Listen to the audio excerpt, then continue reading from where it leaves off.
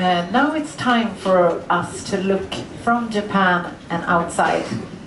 And we will start this session by hearing from Professor Washida around a little bit more the Galapagos syndrome and what it is that makes it sometimes tough for Japan to go outside and what could be done about this one. So please, Washida-san. Uh, Yes? Hello, uh, my name is Yuichi Washida, uh, Associate Professor at Hitotsubashi University, Tokyo. Uh, my major is uh, global marketing and innovation. Uh, today, uh, I will show my research result and I try to discuss the, the problem of Japanese companies. The first one, I will show one keyword, very important keyword, Galapagos syndrome. Do you know Galapagos syndrome? Yes, no, no, yes, yes, no. okay, uh, you can imagine it. uh, the right, right side is the uh, Japanese uh, mobile handset 10 years ago. Uh, it looks very interesting, but uh, somehow odd, strange. Uh, the right side is the uh, Samsung Galaxy series. Uh, the uh, journalist said uh, Japanese uh, mobile phone technology in 10 years ago was very advanced, cutting edge. However, isolated from the other market in the global scene. Uh, they, they say Japanese uh, technology uh, is the Galapagos. okay, uh, it, it, it looks like the uh, those animals, very strange animals. uh, th- those animals are very significant but uh, isolated. Uh, on the other, uh, on the other hand, the today's smartphone or the tablet PC is successfully uh, evol- uh, make the evolution from the monkey to the uh, human being. Uh, the, this is a very serious problem uh, from past decade in all of Japanese uh, companies.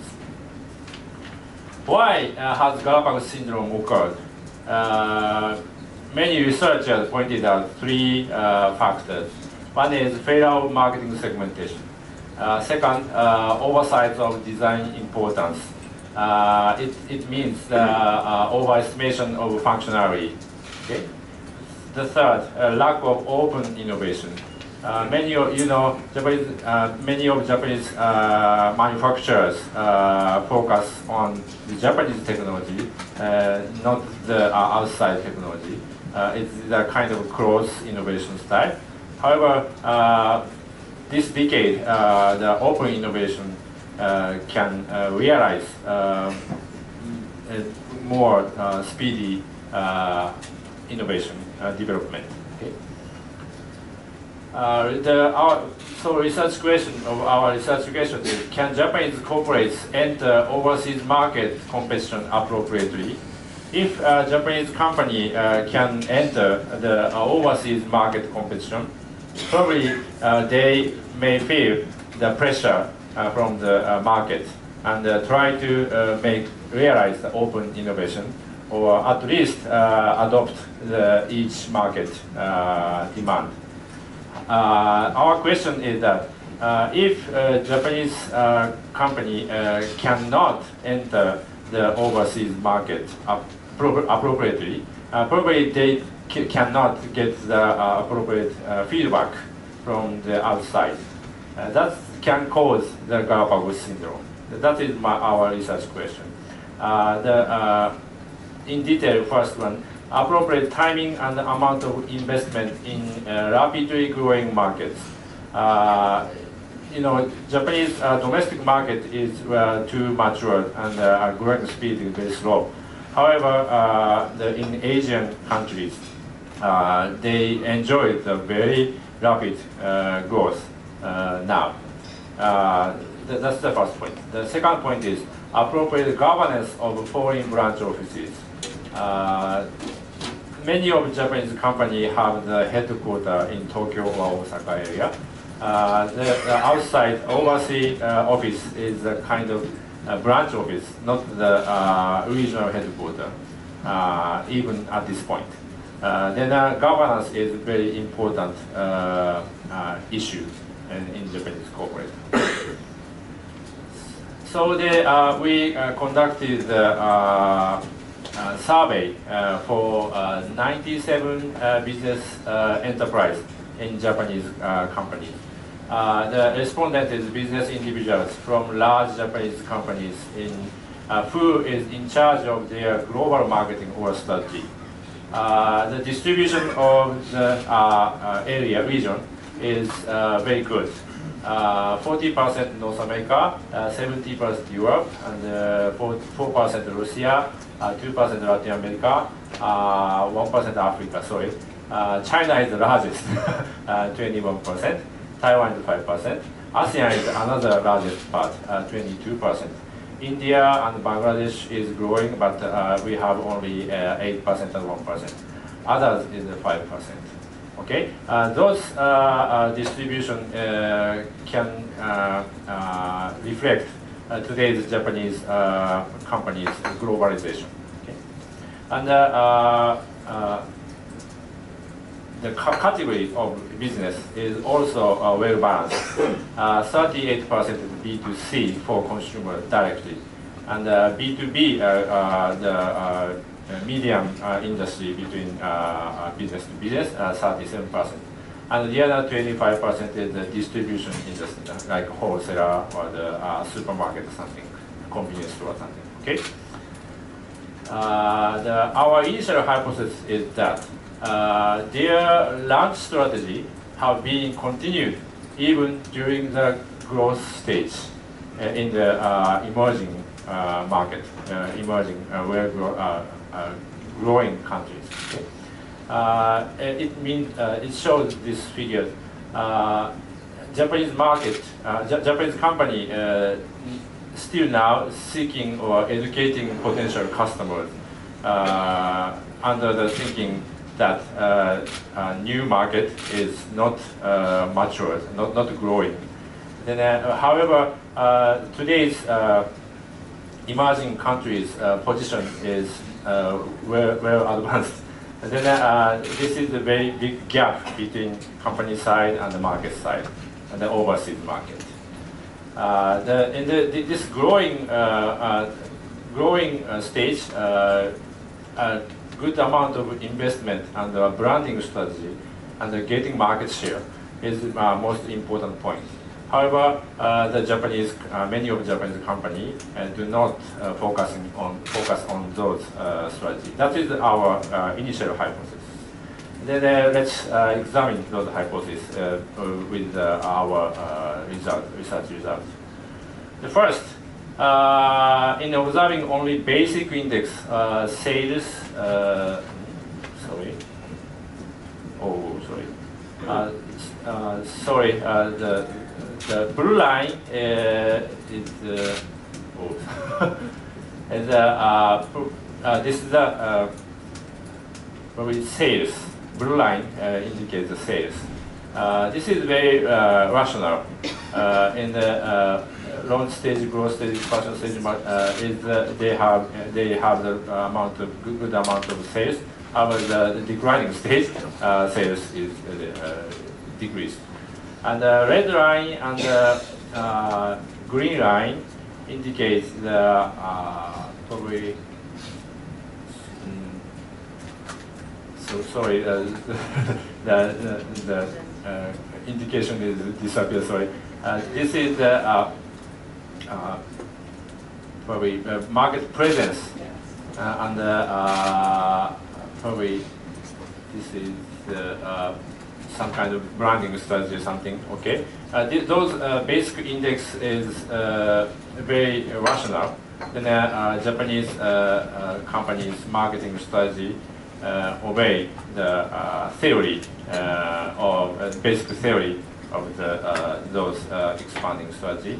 However, uh, if we see more details uh, indexes, such as, such as uh, creating new market opportunity or uh, pursuing market share or uh, maximizing ROI something, uh, we have uh, one uh, very odd uh, findings.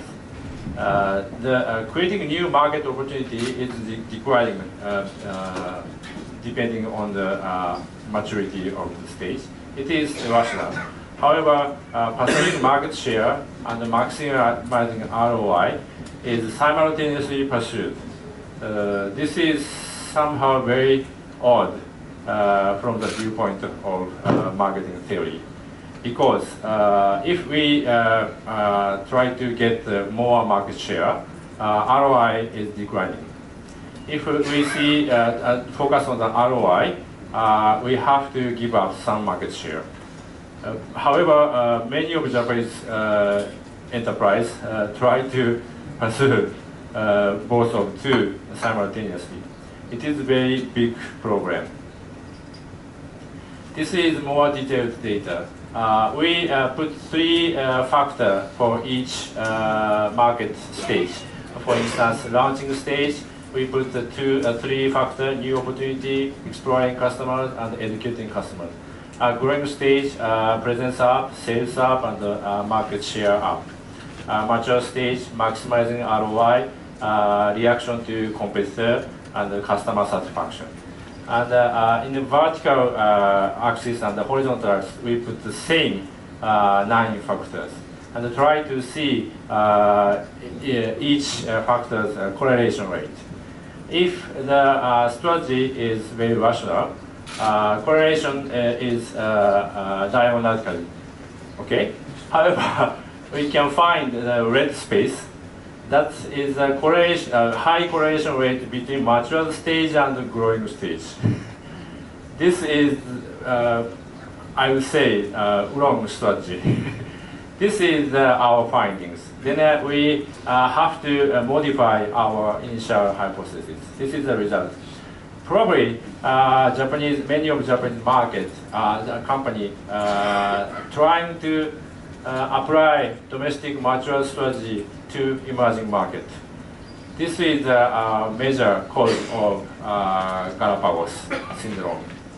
Because uh, uh, from the viewpoint of Japanese enterprise, the, each technology should be adopted quickly, for instance.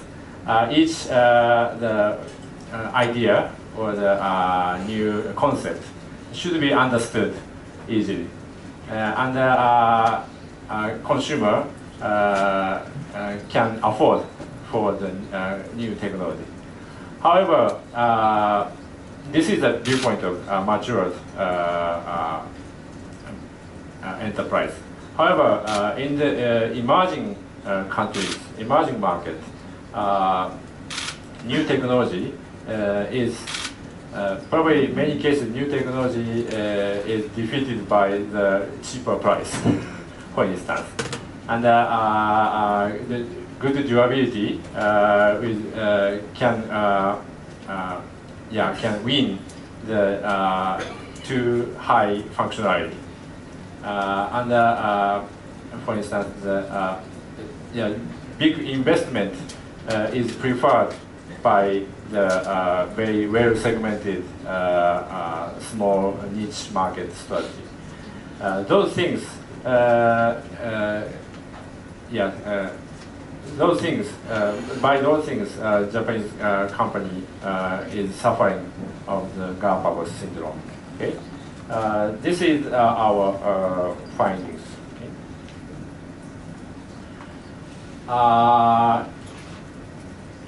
In, yeah, due to those uh, effects, uh, many Japanese uh, companies uh, did have been only uh, too modest investment. Uh, those kind of modest investment, of, of course, earn the revenue. However, the revenue amount of revenue is very limited. In, in, in the same period, uh, the other competitor uh, enjoy uh, much rapid growth and much amount, much amount of revenues. And those, those picture is the Japanese failure and past decade, I think. And when we see the history of globalization of Japanese companies, and uh, also we put the uh, uh, four piece of the marketing uh, frameworks uh, in, in those history. Uh, we can uh, uh, make this uh, map. The first globalization for Japanese company is for the uh, North America. This occurred, th- this occurred in the 1960s and the 1970s. Uh, we can see uh, the, uh, those effects still now. Then uh, if we see the North American enterprise, uh, all of four, four pieces, uh, product price, promotion price, uh, is very well fitted the local market, and the North American market. And the second stage, second globalization, this is for the European market. This occurred in uh, 80s and 90s. If we see the European enterprise uh, research result, uh, we found uh, the two different points compared to the North, North American result. The product segment, product strategy is controlled by Japanese headquarters and the price uh, strategy is uh, totally same as the uh, Japanese domestic market. This is the big difference between the first globalization and second globalization. And uh, uh, today, uh, now we are going to do the, the third globalization to the emerging countries. I, we found the below two promotion and price two piece is uh, well uh, local fitted already. This indicates uh, the, the, the market uh, marketing operation is not failed. Uh, I would say it is uh, was basically successful. However, uh, the product strategy and the price price strategy, many of Japanese company continue to do the same strategy from the second globalization still now. It means uh, even for the emerging countries, uh, product strategy is controlled by Japanese headquarters. And the price segmentation uh, is the totally same as Japanese domestic market. It means uh, the, for the emerging country, uh, the Japanese product is too expensive. Uh, it uh, aim at only the uh, rich segment. This is the yes difficulty of today's Japanese company marketing strategy. Okay? Yes, uh, I based on our uh, analysis, uh, I would say this is the uh, yes uh, those uh, unnecessary transfer from past decades can cause the misfitting for the emerging countries. This is the one major reason of Galapagos syndrome. Okay? And uh, the other uh, data, very interesting data I will show. This is the, uh, from the same uh, survey. Uh, we made the very interesting index called Average Know-how Sharing Index. We, we asked the respondent how, how, how, much know-how of management and marketing will, will be shared by the headquarter or another uh, office, branch office. Uh, then uh, we, we made uh, one single uh, number of for the uh, know-how sharing index. Okay, uh, we found very interesting result uh, about those index. Uh, China office. Uh, we, today, uh, Japanese, many of Japanese companies have a very big uh, China branch. However, this China office is not uh, eager to uh, share their marketing or management know-how to other uh, branch office or Japanese, even Japanese headquarters. Uh, this is the lowest. the second lowest is the U.S. office. However, this indicates that uh, already uh, North America branch is uh, how, how to say uh, independent uh, because they have a long history. Okay, and the other offices is uh, controlled by the Japanese headquarters. Uh, the, the, uh, yes. This result uh, is a very significant uh, uh, conclusion for us many Japanese uh, company cannot utilize the China experience in the, this decade. Uh, China market is the only uh, the, the only uh, market. Uh, it grows very quickly and uh, very vast amount of the potential this is uh, it, means the only uh, China experience the only uh, experience for Japanese company to realize to experience the rapid growth. However, at this point, uh, many of Japanese company uh, cannot utilize this uh, very rare, uh, important experience in the total marketing strategy. Okay, this is another uh, uh, reason why Galapagos syndrome can be occurred again and again. Okay?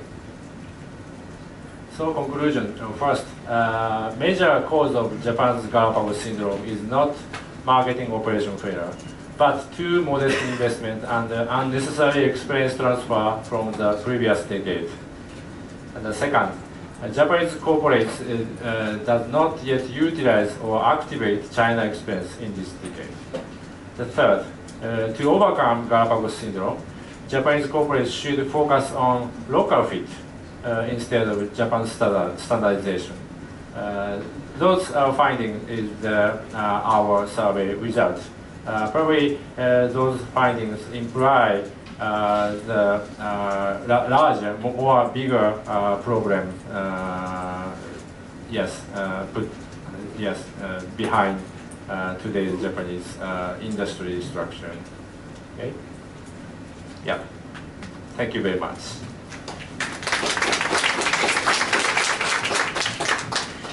Thank you, Washida-san. And uh, we will also come back to for questions uh, later on, unless there is some immediate question. Yes, we do have Okay. one. And we have a mic somewhere coming. No, Yeah. no mic, no apply to Uh, yeah, but the, for the translators. That's why. Sorry. Yeah. Okay, Hans Steeman. I have a question. Uh, if you compare Japanese companies to, for instance, companies from Korea and Japan and, and China, Uh-huh. how, is, how, that, how does that compare? Because uh, also with these companies, you see that the local headquarters are mostly uh, under full control of the headquarters in, in, in Korea or in, uh, in China. At this point, I'm sorry, we don't have the data of Korean company or China company. Yeah, that, that's a very good uh, question. We have to do additional uh, survey in the fu- near future. Yeah, but probably uh, I think the uh, some uh, Korean company, big company, or the China, Chinese big company have the at least regional headquarters in overseas. However, uh, many of Japanese companies have only one headquarter in Tokyo or Osaka, and uh, the other is just uh, branch office, not the regional headquarters. That's the problem. I think in, Japanese society, the discussion is very evident around this problem. How can we uh, succeed? Yes, overseas? yeah, just I don't know if discussing. it's similar in uh, China yeah, yeah. For instance, Korea. Ericsson have a lot of Yeah. uh, yeah regional headquarters, re- regional big uh, office. However, uh, even in the very famous Japanese com- company, uh, they don't have uh, the regional headquarters even now, Uh, that's a key. except the U.S. market. Yeah, Ah, I think that's a very important key to success for our company to be able to work. Any other immediate questions? We do have two, and then we move on. Yeah. Uh, sorry. Yeah. Yeah, hello, my name is Heikki. I'm from Finland Technology and Business Magazine. Uh, did you find any differences between uh, B2B and B2C companies, for example, in, in framework of the four Ps? In this result, uh, research, we, we don't, we didn't uh, find any uh, significant difference between B2C and B2B and distribution. So you think it was more of a cultural thing? Yeah, that's a, what business yeah, very about? basic cultural uh, problem. Yeah, yeah. And then the last one? Hi, my name is Gabor Nagyan. I'm from I'm from Hungary. If I can pick one Japanese company, uh, let's pick Sony. And do you think that Sony uh, can be considered as a victim of the Galapagos syndrome in, in two fields? Yes. One is the M- one is the, one is the MP3 player because Sony had the Walkman and completely missed the MP3, and the other one is the flat pan, flat panel television. Thank you. Yes, uh, even even Sony, uh, they were suffering from the Galapagos syndrome. Yeah, uh, probably uh, Sony, of course, uh, yeah, distributes uh, very global uh, products in the worldwide. However, in, in the Japanese domestic market, uh, we can see tons of Sony products. yeah, probably, yeah, many of the, their products can not be exported outside. Even Sony, I think even Sony is suffering the gap. Okay, we will have more opportunities for questions